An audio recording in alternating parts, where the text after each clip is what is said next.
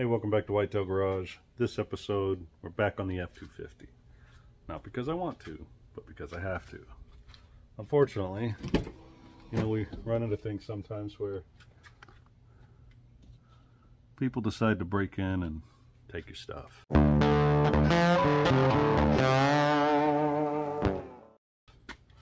So I've already done the uh, lock removal so no lock key back there.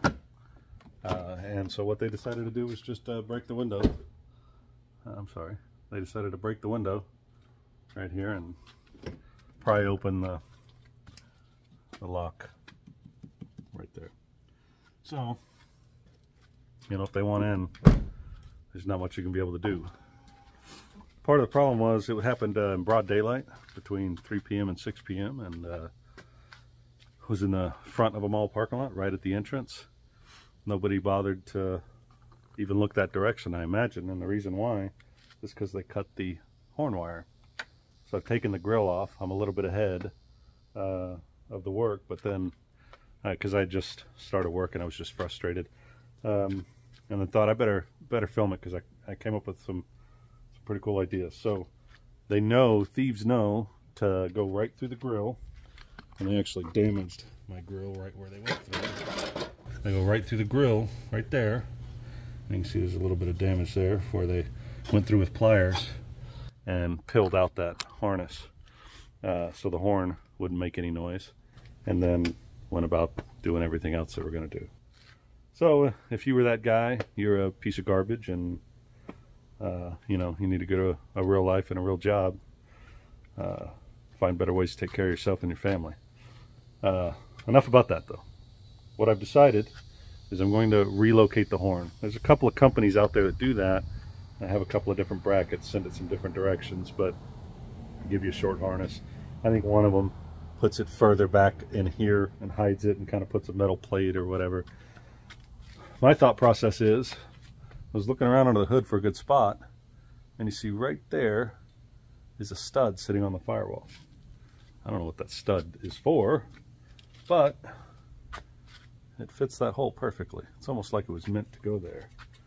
So this guy's going to mount right in there, and I'm going to use another nut to hold it on, and then I'm going to extend this harness and uh, move it over there. So the original pigtail is right here. I already clipped it off and clipped it to this wire that I'm going to then route over there. And then I had another this was just spare parts I had, was a male and female of this pigtail. You can get these things on Amazon. I don't even know where I got this from, but it's a it's a male and female pigtail. So I just attached that to the factory harness. That's going to get tucked back behind here and then up down the fender, back across the firewall, plugging right there to the new horn location. So, I, I, like I said, I'm already ahead. There are plenty of videos to show how to remove the grill. I had never done it before on this year model, but there's, you know, one, two, three, four, five, six, seven, eight uh, bolts across the top, 10 millimeter bolts. And then you have to pry it away with snaps around the bottom. These bottom snaps are kind of a pain if you have a really long screwdriver like this guy, made it really easy.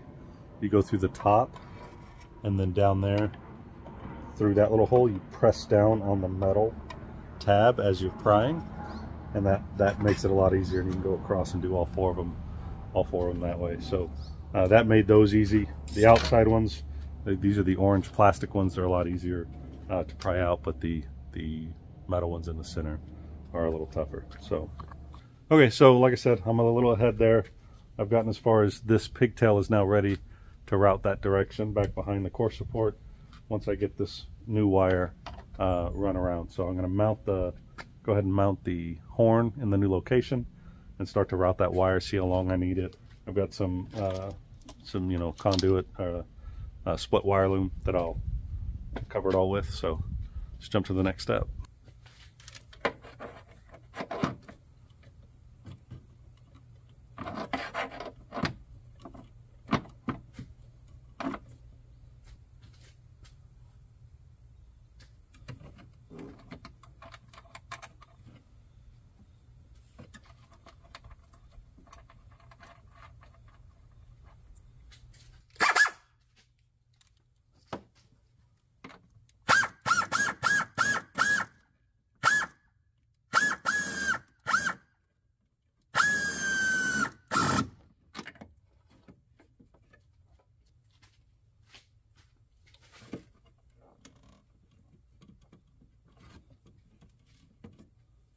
Looking across the whole hood there, you can kind of see where that's placed.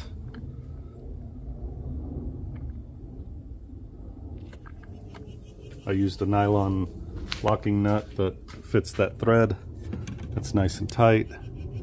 It's not rubbing on anything. Like I said, it's almost like it was meant to be there. It's got the right orientation when it comes to the horns are facing down, so moisture will stay out of them. Um, the only thing I'm worried about is heat. If there's an issue with heat, they certainly don't deal with that kind of heat up front that they're going to be dealing with back there. If that's an issue, then I'll find out the hard way, I guess. But, you know, they seem to have plenty of sensitive stuff right above the manifolds on this side, so I imagine that will take it. Like I said, if it doesn't, I'll find out and I'll let you guys know. I'll pin a top comment if it blows this horn. So now I'm just going to route this wire around the engine bay.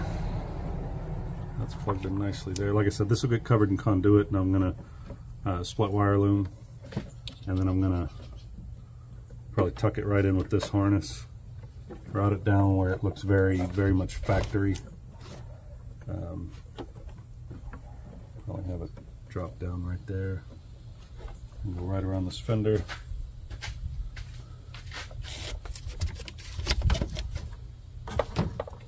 allow me to pass through there and this guy's going to go right through there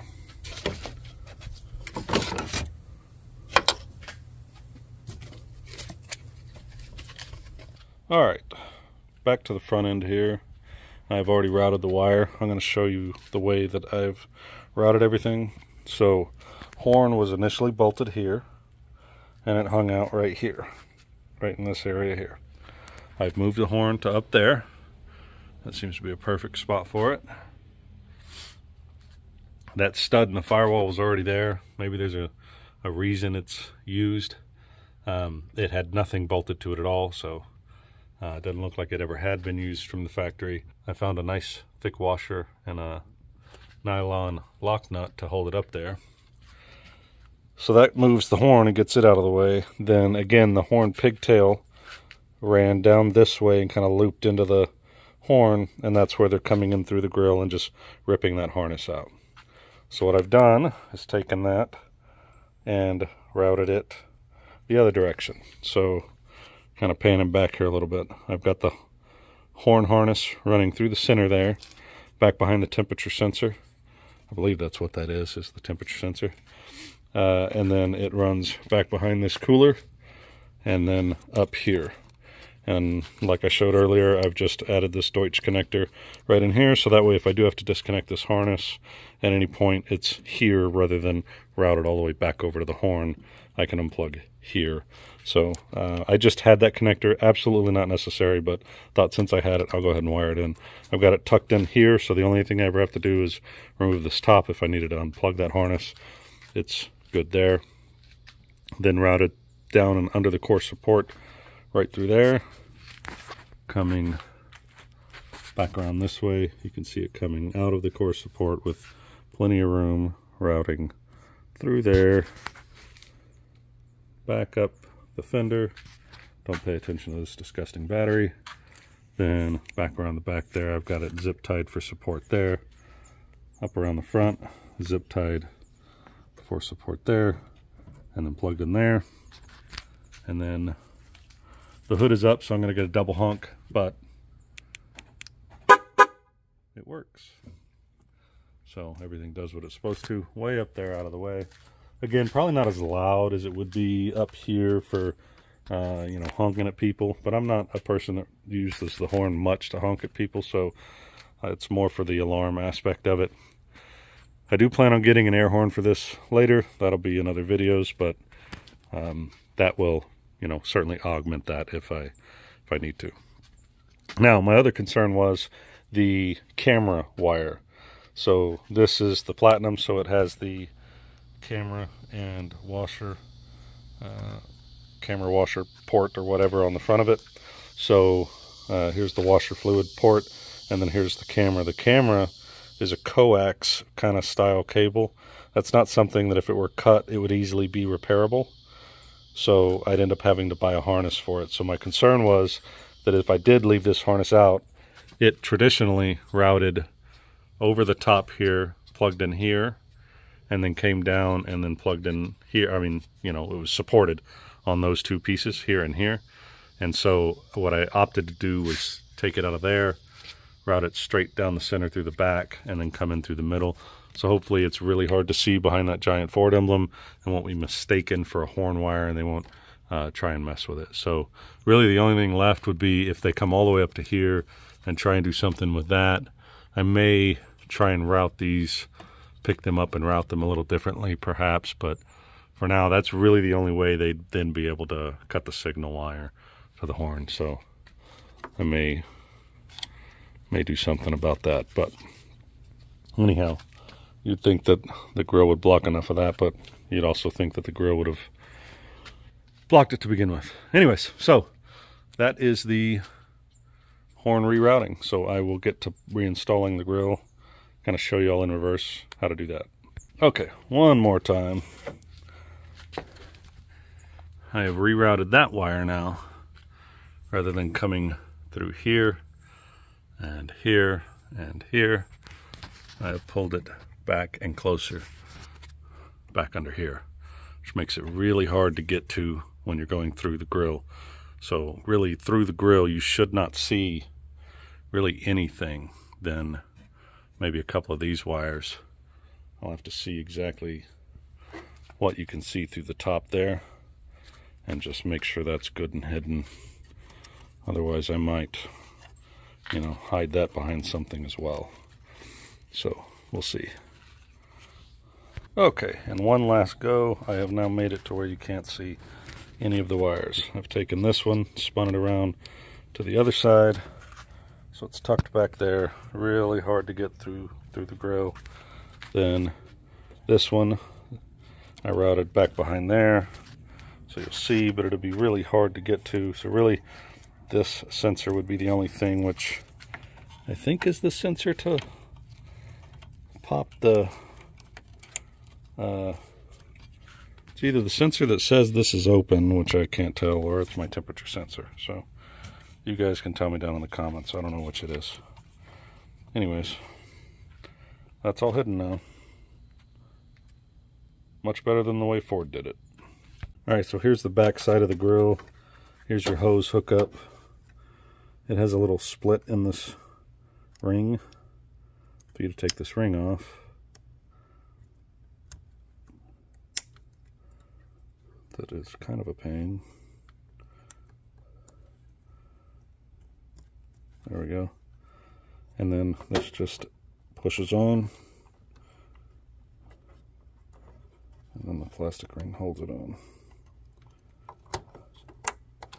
Like that. It's on. And then here is your connector. That's a very specific way to do it. This is how you press down that to release that guy, it did not work for me. I ended up having to use a pick. As you can see, I kind of messed it up slightly. I had to use a pick to open it up. It wasn't enough to, to get it off. Only goes on one way.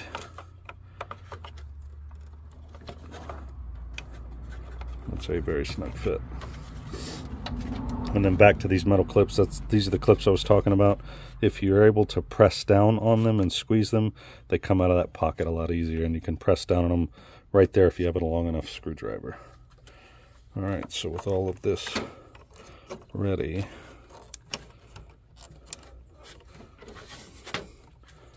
close this up.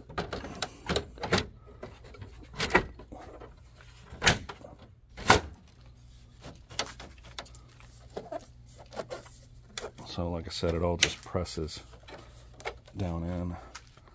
You can look down in there to see if you've gotten all the clips in. Presses in really simply, and then I've got to now replace all of these bolts.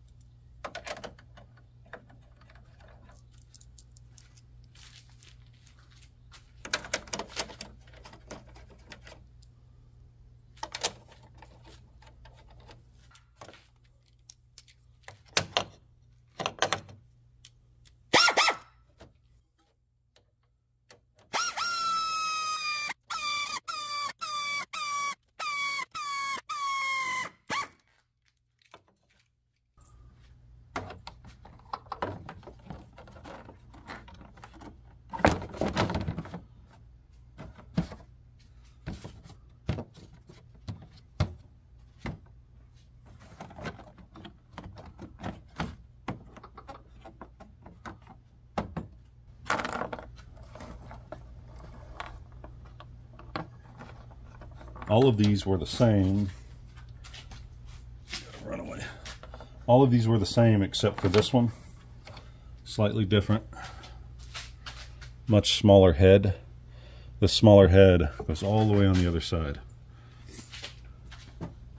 Right in the front of the, the intake here. That one was different. All the others were the same.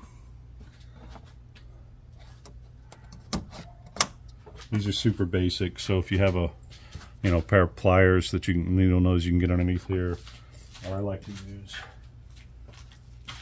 I like to use these trim panel. You can get a kit on Amazon like $14 for like five of these things. And they're really good at getting right underneath there and then you can get and pry up and then you go underneath and pry up and pop the whole thing out. The reverse of it, you just put it in the hole and push it down and that locks it in.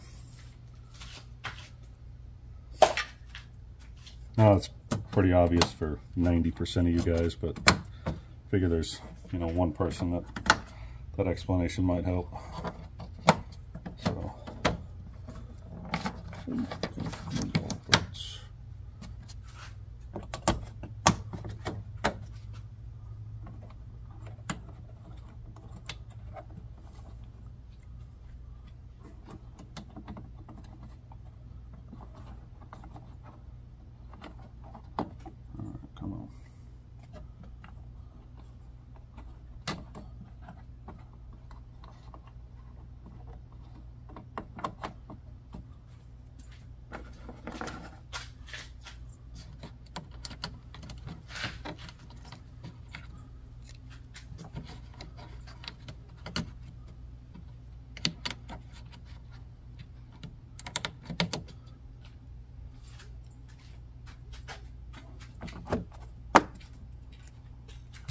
Now I had a couple that just gave me a problem, so I'm trying to push them in in a tight spot and it doesn't want to go in, and I don't really have the angle to be able to just press on the bottom like that.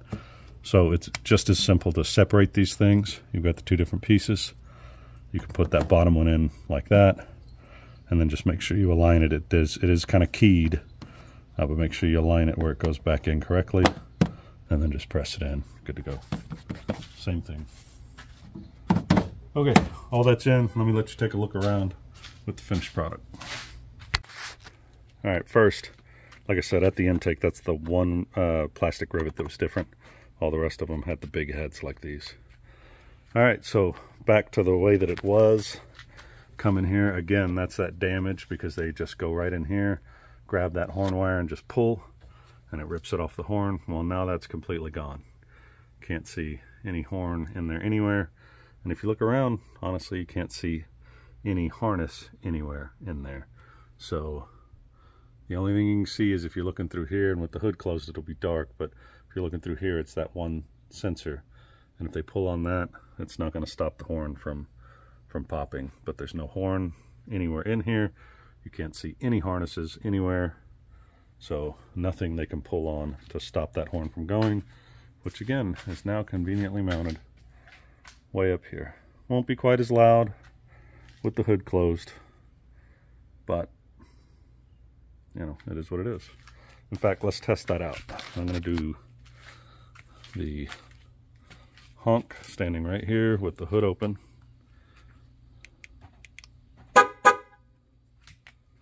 let's close it and see. I imagine you won't be able to tell the difference on camera, but we'll try it anyway. So horn or hood closed. Yeah, it actually is way more muffled. Way, way, way more muffled.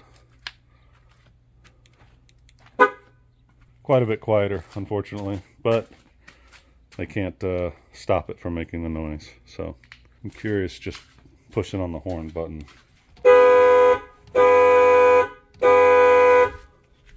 Still pretty loud still pretty loud. And if I do the, uh, here we go.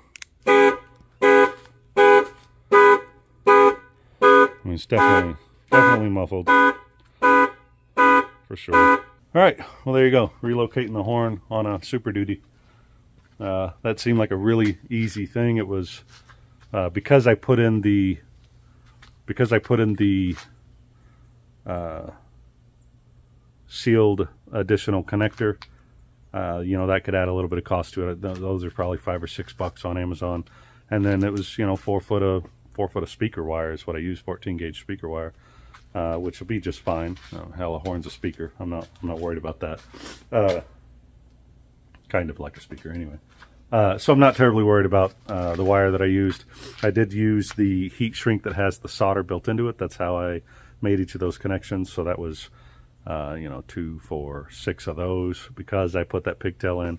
Uh, but pretty low budget. I found the nut that fit that thing, you know, in my box of miscellaneous things. So I didn't even have to uh, pay for that. Uh, and honestly, I had the speaker wire and that other stuff separate. So for me, this was really incredibly cost effective. Didn't have to purchase anything to make this happen. Uh, so, so nice and easy. Uh, you know, throw a comment down there if you have any questions. Happy to answer uh, any questions associated with it. I was going to have uh, this window replaced uh, in this episode as well, uh, but unfortunately went all the way to the glass shop, got the window, got all the way home. It's for the passenger side, not the driver's side. I have a feeling it was labeled wrong. Not their fault. I should have checked it before I left. Um, but I'll have to do that in a different video. Anyways, thanks for watching. That's what I was working on this weekend. We'll see you next time.